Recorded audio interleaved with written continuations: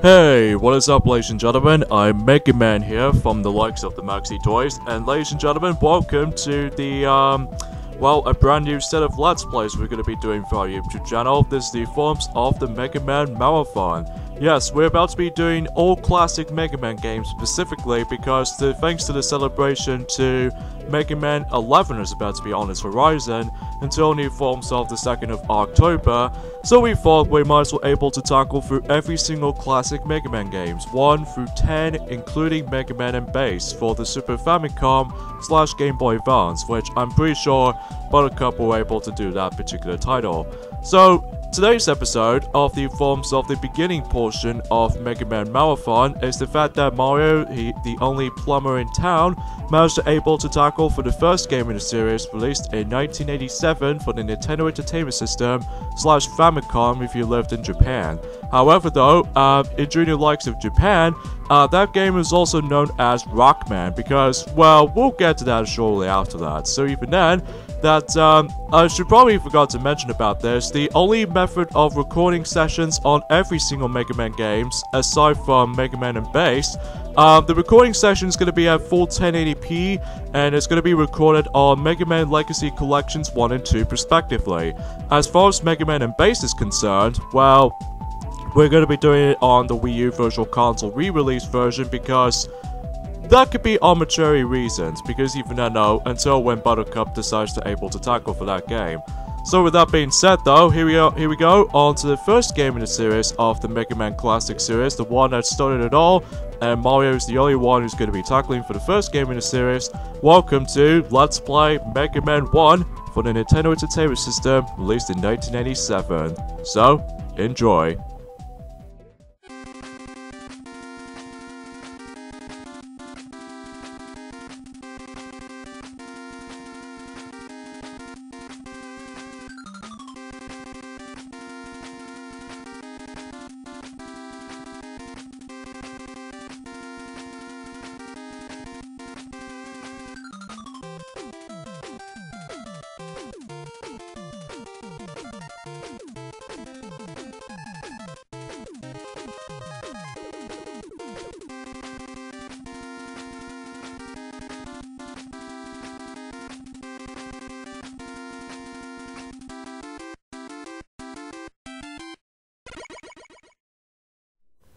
Hey, what is up ladies and gentlemen, I'm Mario here from the likes of the Maxi Toys videos. And ladies and gentlemen, welcome to the first installment of the Forms of the Mega Man Marathon set of Let's Plays, specifically the classic Mega Man games.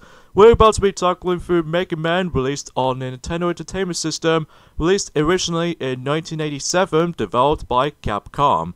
Which is pretty understandable because uh, Mega Man is the famous uh, mascot for that particular company. So, with that being said, though, let's get to it, shall we? Even though there's no uh, intro cutscene to the game, unlike when we get to the future games in this series, most notably Mega Man 2 and the future games and onwards, that we're able to, um, able to actually get ourselves an intro introduction screen. So with that being said, um, all it gets in this title screen, as you can see right there, we only just have to press start button. buttons. Even know, as soon as we press the start, then we can able to actually select up to six different robot masters. So we've got Cutman, Gutsman, Iceman, Bombman, Fireman, and Electman. So, before the future games in the series, they actually bring something uh, new to the table, like the forms of 8 Robot Masters, including the likes of uh, Mega Man 11 coming up. But even now, at the moment, in the first installment of the series, it only has like 6 Robot Masters. So with that being said, um, you can actually choose whatever stage you want to go for. Like, you can either go for Cutman or Gutsman or any other Robot Masters for this matter. So, for this first stage in the game, I'm actually going to be going through Bombman first, just because, well, I feel like I was going to be able to grab something from here. So even then, no. Uh, this is how Mega Man plays out. Basically, you run and just keep on shooting. So even then, no, that it's almost like Contra of all things, except, well, a little bit more unique in that retrospect. So even then, though, that, um, yeah, Mega Man only shoots at one direction, and that was directly in front of him. So I think that's the only things you might, might as well able to actually consider this fact. So even then though, with that being said though, um, yeah, this is how the game plays out. You basically just, uh, back in the day in the NES, that's uh, how the fact that, um, Well, we'll explain more details into the actual full game of Mega Man 1 until we're able to actually come towards at the very end. So, let me classify for as such right about now. Uh, not to mention, there's actually two things I want to point things out. I'm not a pure master at Mega Man. I'm gonna tell you that guys now, because even then, uh, what makes this uh, the first game in the series so difficult in comparison to the likes of the future games in the series is because of not only because of archaic design choices, or maybe it's just a little bit of a more of a, you know, the first game to be released on, but uh, it's also because it's also really dang difficult sometimes. Most notably because of few things. Level designs like the forms of spikes as you can see right there, because if you notice right from the start though, spikes will instantly kill Mega Man, so even then though, that if you accidentally touch those spikes, then you have to watch out for them. So even you have to be sharp on that one. Another noticeable thing about this is the forms of the enemies themselves. Now, normally, in, in comparison to the likes of uh, Sonic the Hedgehog, well, before Sonic the Hedgehog exists, and especially noticeable with the forms of uh, Super Mario Bros. back in the day, well, to be more specifically, after Super Mario Bros., that uh, you simply kill these um, enemies while simply just jumping on them, but in this game, you have to purposely try to use the Mega Buster, because yes, that's what his weapon is all about, for the default weapon by uh, circumstances, and in that way we should able to actually kill these enemies, even though sometimes every single enemy does have their different hit points and all that stuff, so that should be expected as such. So I believe this game did first came out in the Famicom, released on 1987, around the same day as the American version got the game as well, but it forms off also in 1987. However though, in all countries for some reason, only gets the game until 1989 or 1990 for some arbitrary, oh I think it's probably because of how the fact that in uh, 1990 for European versions or something like that can be summarized as the uh, the Mega Drive version, which I'll talk more on that as soon as we're able to actually get to that point momentarily. So even though, for the most part though, that uh, with the uh, well, I'll explain more details about the game as soon as we're able to actually finish up this first stage, which is the forms of the Bombman stage. So even though, that uh, for the most part though, uh, it's basically a simple platformer, and especially noticeable with shooting uh, mechanics here and there as well. Now as you can see, that Mega Man actually got himself his health meter, so even then though, uh, it's a little bit different than the likes of the any other Mario games at this rate, that uh, you can only afford to get hit like three times and stuff.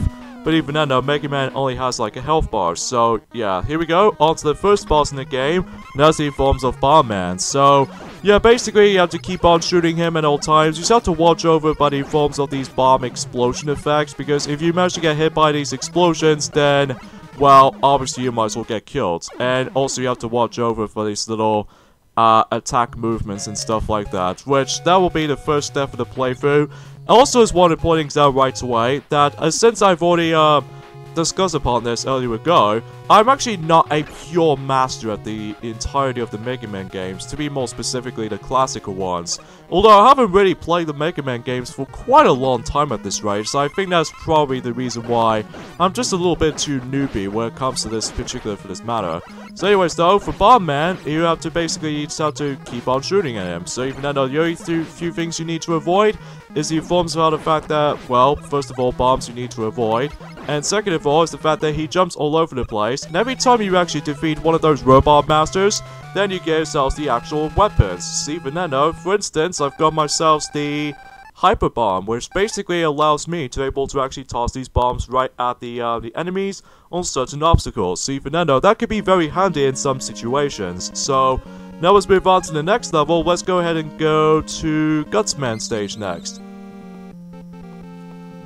As one pointing out right away though is that this game introduces the score system, very much like the old school archaic uh, video games out there like this. So even then though, expecting how the fact that you can see on the top portion of the screen that has a, well, score count. Every time you kill enemies or complete certain amount of stages or anything else for this for this matter, um, you get yourselves a balancing of uh, score point system every time you're able to do something like this. So, but even then though, that makes it a little bit obvious. So, Oh god, this is what makes it a little bit difficult with this level in particular, is the fact that we need to do a lot of timing jumps on that part, because no matter what though, every time you're able to actually stand completely still, and once these platforms starts to uh, tilt in, uh, basically, uh, Mega Man just drops like a dang rock, which even then, I will admit though right away, it's a little bit more, um, old school heavy and stuff like that for that nature, so... Anyways though, um, aside from that, um, there's not much else. There's not much else I can really say about Mega Man because, as far as I'm aware, I think the first time I ever experienced the forms of Mega Man entirely, and that's the forms how the fact that whenever I looked upon um, any other virtual console reviews, most notably in uh, well, uh, Deven212, which I think I remember that back in the day, that he did review any other Nintendo Wii Virtual Console games, which that was probably one of my favorite childhood memories of that particular video series, and that's the reason why I was interested in Mega Man. And thanks to the forms of back in 2013, and to be more specifically E3 2013, which is about 5 years ago actually, that uh, Mega Man has recently joined in the Super Smash Bros. Uh, for the Nintendo 3DS and Nintendo Wii U, and most recently that he will make a comeback in the forms of Super Smash Bros. Ultimate in the most recent AM E3 2018 appearance. So even then though, I was really looking forward to that actually. So even then though, that, yeah, that's all I can really say about this. So, I think Gutsman might be a little bit tricky of the stage to begin with, most notably because of the actual platforms you have to make yourselves through. So even then, no, that maybe seems the case, mind you, but even then, no, that's as far as I can usually say about this for the most part. So, anyways though, uh, let's go ahead and equip ourselves the forms of Hyper Bomb. In order to actually just change your weapons to your disposal, you have to simply press the plus button, or in this case, no, what I was thinking of. I keep on thinking of the, the virtual console versions of the game.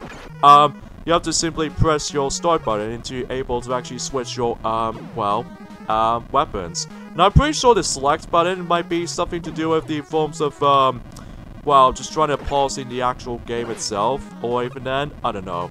So, I believe Gutsman is actually a uh, weakness is the forms of Hyper Bomb, which I will admit though right away is very effective on Gutsman. So now we got uh, done with Gutsman, so even now we've got ourselves our new weapon, which I can assume this might actually be called Super Arms. See, Fernando will actually uh, show this off until we get to the next level. So, let's move on to Cutman next. See, Fernando, that I'm pretty sure we've almost nearly towards the end of the game already, because as far as I'm aware, in the first game in the series of Mega Man, this is by far the shortest game of the bunch, compared to the likes of the future games in the series, most notably Mega Man 2 and Mega Man 3, neither especially noticeable in the future games in the series, uh, will go a little bit longer as far as I'm aware for that. So, anyways though, what I found is kind of odd though is the fact that I'm the only one managed to tackle for the first game in the series because I remember back in uh, about a year ago now that I've managed to able to tackle for the first game in the Sonic the Hedgehog Game Gear marathons of all things that I've recently tackled through Sonic 1 for the Game Gear, which is kind of odd because even then, no, I was the only one managed to tackle for the first game in the series every time in each marathon. So, I mean, what's next? Mega Man X marathon to tackle for the first game in the series? Maybe. I don't know. We'll find out.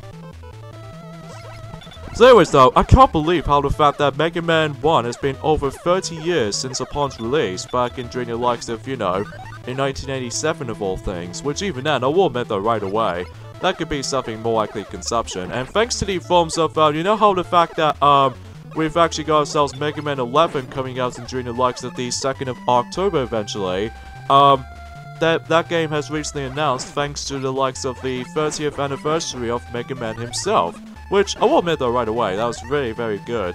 And even very surprising too. And even then though, they're actually going to be introduced to, uh, new mechanics of the game, which I'm really looking forward to at this rate, because even then, uh, I'm very curious to see how the fact that what the new mechanics are looks like. So even then, uh, it's basically like, well, we'll get to Mega Man 11 until that game comes out, or even just wait until whenever we decide to do the Let's Play of that game, until eventually until November, until this year. So, around the same time as when uh, Sonic needs to get back into Mega... Uh, no, what did I say Mega Man? Um, Sonic Mania Plus in the forms of Encore mode, so even though that can take a while to able to processing through that, but I, on the plus side though, that uh, we managed to able to actually notice something like this, so... Now, the reason why what makes this uh, the first game in the series compared to the future games makes it a tad bit easier, but at the same time that the first game in the series is really, really tough. Most notably because of patience and observation is key to victory right here, because you can definitely notice something is the fact that enemy behavior can uh, can really throws you off at times, even especially noticeable how the fact that um, Spikes will actually instantly kills Mega Man, and especially noticeable with the forms of the fact that, well, you know when uh, some other platforming sections can get a little bit more arcadic look? Even especially noticeable how the fact that, um, whenever you're trying to able to actually go to a complete stop, Mega Man just somehow slips over, or sometimes slips. Steven Eno, that's, oh, that's the only thing I need to point things out right away. And I wouldn't say this much, uh, since I was a little bit, uh, a little bit more of a newbie to this series, um, I'm going to be constantly going to be using those save stating because again, as you can see from the quality standpoint, is in full 1080p because I'm playing this on the PlayStation 4 on the Mega Man Legacy Collection because I don't think there's any way I can able to record this game on the Nintendo Wii Virtual Console for the time because well, I did test that out on my own time, but then all of a sudden my Roxio Game Capture HD Pro doesn't seem to like to emulate uh, some of the older NES games onto the forms of conversion to um, anything else. So, oh, I really hate these enemies, as you can tell, because they can really kick out of the punch when it comes to the actual um, health depleting from my department. But anyways, though, Oh yeah, every time you actually come towards at the very end of a level, you actually face off against with those robot masters. I don't think I've actually mentioned about this in the beginning portion of this Let's Play in particular. But even then though, every time you actually come towards those particular parts, then you would able to actually come across into such a little bit of a small amount of enemies, and then every once in a while if you reach at the very end, then you face off against with the robot masters themselves. So, and there goes my another extra life. Oh well, no matter, because we actually got to the checkpoint right there. Because thankfully though, if you die at certain points with the robot masters themselves, uh, you basically guarantee you would able to actually classify for able to actually obtain, you know, uh, just trying to get to the continue where you left off. However though, I'll get to the actual uh, game over screen as soon as we get to the final set of amount of stages until we get to that certain point. So here we go, onto the forms of Cutman. So, his weakness is the forms of the Super Arm Gutsman's weapon, because even then, uh, this is what Gutsman's weapon is all about, or in this case, Super Arm if you will. You can able to pick up as many of those blocks as you can, to be more accurate, the heavy blocks, and that way you should able to chuck them right at the enemies, or even Robot Masters themselves. So, that's very cool for that weapon, but even then I only use that for, just to deal out with uh, Cutman, uh, very, very easily, so that way it'll instantly KO him after all. So yeah, you get the idea. So next stage we're going to be hitting to is the forms of the Elect Man. So yeah, I apologize for the actual uh, cuts between, uh, you know, screen by screen resolution because even then though, it's one of pointing out right away because even then, I'm going to be constantly going to be doing a lot of uh, save stating, and that's why I have to keep on jump cuts for this point, because even then, though, that expecting a lot of you guys to be criticizing for me to be cheating, but I don't know about you, but even then, though, that's just how I think it is, so... But you know, you get the idea for, for this solution. So, here we go with the Electman stage. Basically, we need to able to go a little bit for more of a climbing syndrome. And as far as I've noticed something, is that there actually contains like it's very, very good item that you can get, well, only if you manage to obtain the Gutsman's weapon, in this case the forms of Super Arm. And in that way, we should able to actually just uh, come across into that as soon as we continuously climbing up. So, while dealing with a lot of enemies sometimes, because even then, though, that can always attempt to kick my butt every time whenever I come towards this particular segment noticing, but as soon as we're able to approach this point here, we have to deal with the, probably the most annoying obstacle in this entirety of the Mega Man series, and that's the forms of these disappearing blocks. Because the thing is with disappearing blocks, it always comes up as like almost like completely random, but you have to be very, very, very accurate when it comes to doing a lot of platforming, because if you screwed up at least just once or twice, chances are you might as well able to fall down to the uh, either bottomless pit, or you have to restart the entire section all over again, which can be a little bit of a cryptic in my honest opinion though. So anyways though, let's go ahead and go to this alternative route here, just because I just feel like it, and also not to mention because it makes it a little bit more easier when it comes to certain platforming segments noticing, so I think I should probably point things out right away. And for the most part though, everything else is something a little bit okay around here. Well, despite these enemies just trying to kick my butt any single point of it though. And we got ourselves some more health and all that stuff, which is very, very good in my honest of taste. And here, this is where we get ourselves this particular item over there. But again, you do need to acquire the super arm, or in this case, Gutsman's weapon, just because if you manage to obtain this particular item, then we get ourselves the Magnet Beam, which basically, the Magnet Beam can actually able to actually just classify for creating some of these platforms, meaning that um, it's essentially the easiest uh, mode when it comes to obtaining this item in general. That's only because of how the fact that if you can't be bothered to do with the most difficult sections, then by the way, you can able to actually use that anytime. So don't use that too much because even then, though, once you use your one of your weapons, um, it actually drains your weapon energy. So even then, though, is one of the pointings out right away. I suggest you're able to use it wisely, so you don't use it all the time, so just use it wisely, so small pointings there right away. So anyway, so we're almost nearly towards the end of the forms of the Elecman stage, so hoping this should be a little bit more of a Delta 4 anyway, so... Yeah, I apologize if I keep on sniffing most of the time, that's only because of how the fact that I almost felt a little bit roughy or cold and stuff like that, which I'll admit though right away. I'm perfectly fine for the most part, it's just how the fact that, well, you know. Alright, so now we come towards the very end, so even then all we have to do now is basically we need to climb all the way up into the form of the actual ladder, and not to mention we need to avoid those electrical currents, well, at least to be more specifically these electricity, because Again, if you get hit by electricity, then you obviously take a hit, so you don't want to let that happen. And uh, that's what I can really think about it, so I will say though is that the soundtrack is very very cool and pretty awesome to listen to. Until we get to Mega Man 2, the music's music's department might be becoming very familiar. If you notice if you ever watched the uh, some of these flash animation uh, type of uh, movies like that. Anyways, here we go with the Elect Man. His weakness is actually forms of the Cutman weapon, which in this case, for this matter, is the forms of, um, well, Roller Cutter, as far as the actual weapon is called, but in forms of the Cutman weapon. And here we go ourselves the forms of the, well, Thunder Beam, which I will admit though right away, with this specific specific weapon alone, actually before I get to this however though, let's get into the next level in the game, and that's the forms of Iceman. So, as you might expect it, this actually takes place in this icicle themed level, so even then though, don't be surprised until we actually come towards the forms of these ice physics every once in a while.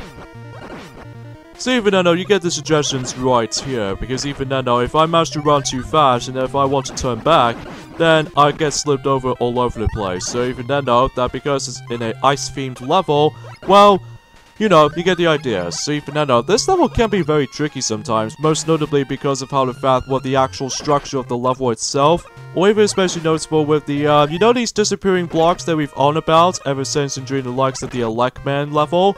Well, that's how we're going to be able to come across into them until just about any second or two. Although, luckily though, since you know how the fact that I've got myself my magnet beam, uh, that way I can able to actually skip the entire portion of the forms of these stupid disappearing blocks, because I despise disappearing blocks in any platforming games out there, because I know for the fact that it might be very difficult to able to actually just uh, jump at the right time scenario syndrome. But anyways, let's go pick up these health ammo. And that way we should able to actually just to get our health going. Until before Mega Man 2, we're actually going to be introduced into probably the most nifty um, items in the actual Mega Man series entirely, which we'll get to that and, uh, while Sonic is going to be doing Mega Man 2. So, anyways though.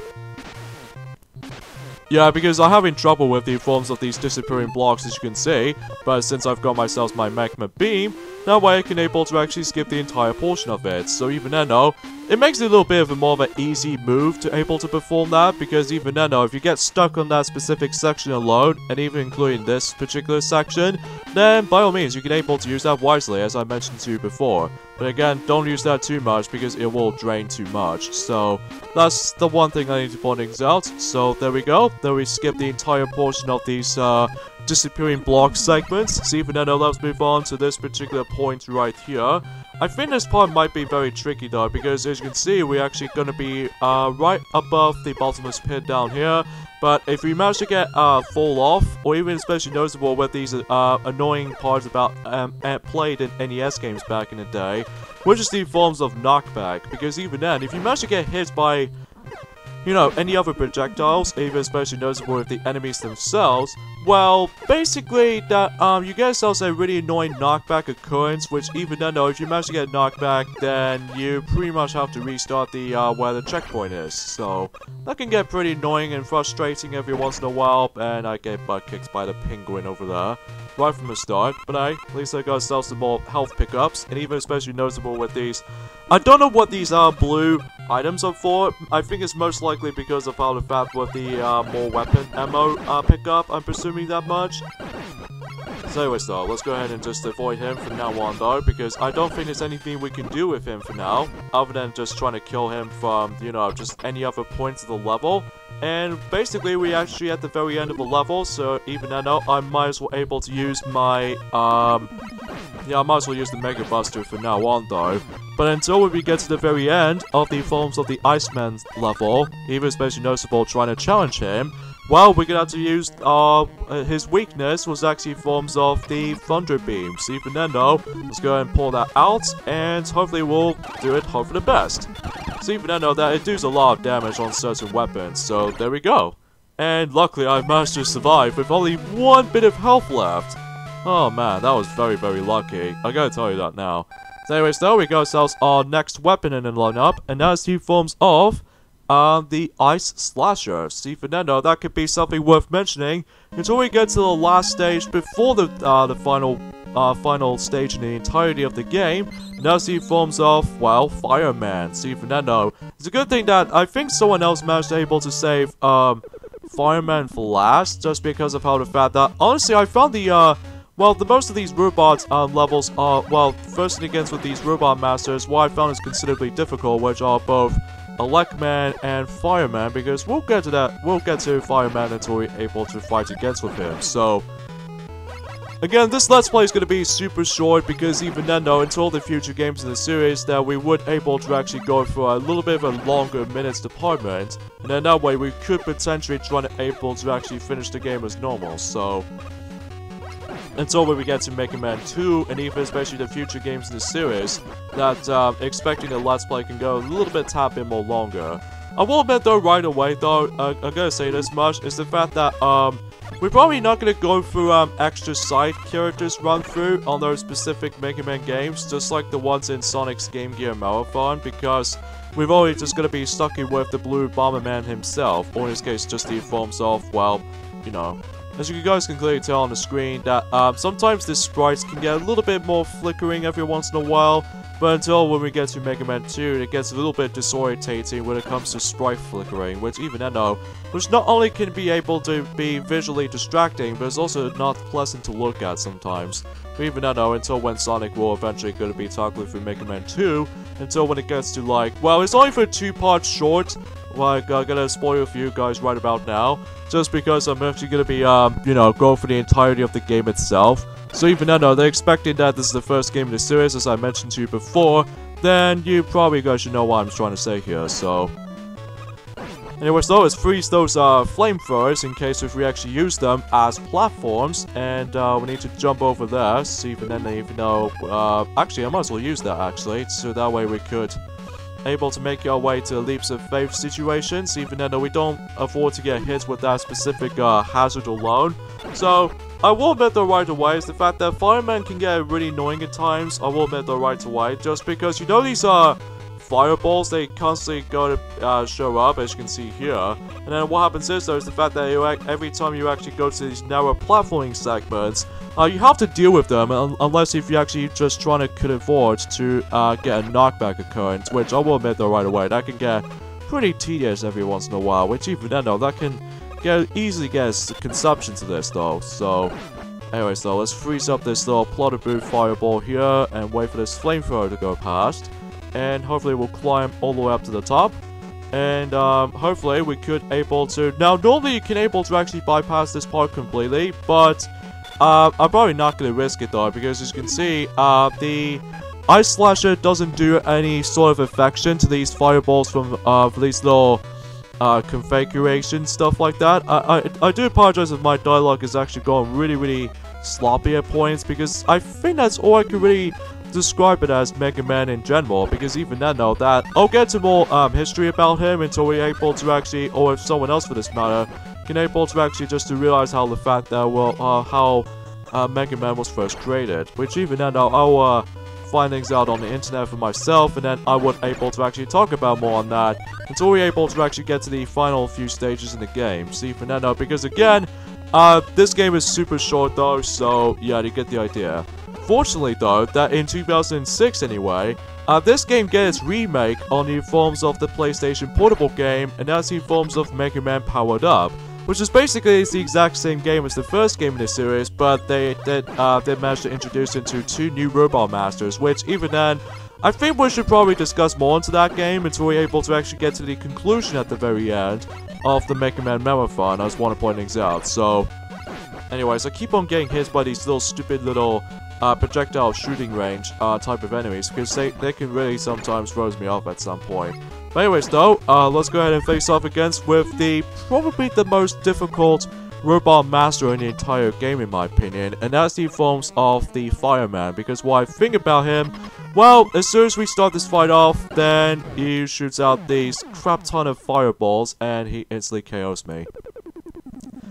Well that's fine though because every time you die um, your health will about to be regenerated. Well, the only few exceptions which are your weapons ammo counts. So even then though, don't expect it to be able to actually run out of those things very easily.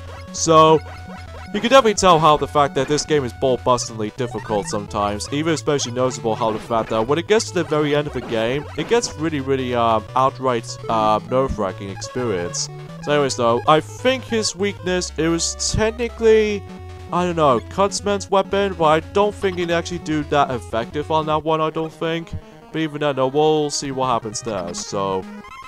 Anyways, let's go and take down this uh, fireman again for a rematch. And yeah, it doesn't do that much for, uh, you know, cut roller, or yeah, just cut roller in general. So his weakness is the forms of the ice slashers, even then, though, once we uh, deal with him like several hits noticing.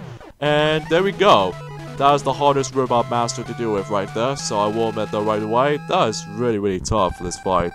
And that way, after killing the Fireman, now we get ourselves the final weapon in the game, and that's the forms of Firestorm, which I'll probably show this off until when we get to later on, because once you deal with all six of those Robot Masters, it will lead you to the final stage in the game, Dr. Wily. So he was the bad guy for the entire time, huh? So join me next time on Let's Play Mega Man is the fact that we're going to be finishing up the entire game to explore the Dr. Wily stages. So things can get pretty interesting to say the least. So yeah, see you guys next time. Later fellas.